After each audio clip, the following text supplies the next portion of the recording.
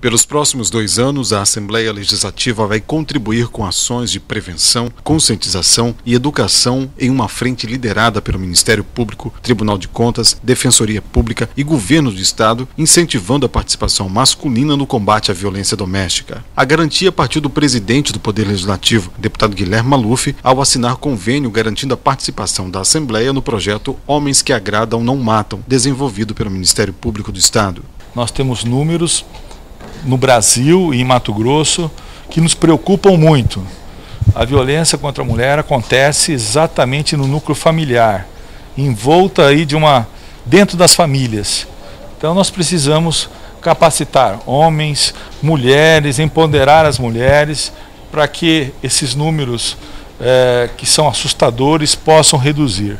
Mulheres ainda hoje são mortas vítimas de violência. Palestras, esclarecimentos, roda de conversa e uma cartilha vão auxiliar os coordenadores do projeto a chegar ao objetivo, que é atingir o maior número de homens em diversos ambientes. Segundo a promotora, coordenadora do projeto, Lindinalva Rodrigues, com esclarecimento é possível reduzir o número de crimes contra a mulher. É um projeto que visa ir aos canteiros de obras, às empresas, aos hospitais, às escolas, às universidades universidades, chamando os homens para que eles tenham consciência de que não podemos mais ter tanta desigualdade entre homens e mulheres, para evitar a coisificação da mulher, para evitar o machismo, por meio da Sala da Mulher, a Assembleia Legislativa desenvolve diversas atividades em defesa dos direitos da mulher. Um bom exemplo é o programa Mulheres em Rede, que oferece capacitação para a geração de renda à mulher com perfil empreendedor. A presidente de honra da Sala da Mulher, doutora Maria Tereza Maluf, considerou que os resultados só aparecem com iniciativas bem articuladas dos poderes com a sociedade. Obviamente, através da educação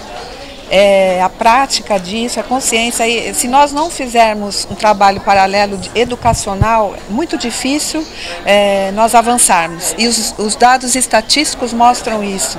Então, acredito que vai ser um outro projeto de grande sucesso. Estudos apontam que no Brasil, 13 mulheres são assassinadas por dia. O país está entre os cinco no ranking da violência contra a mulher.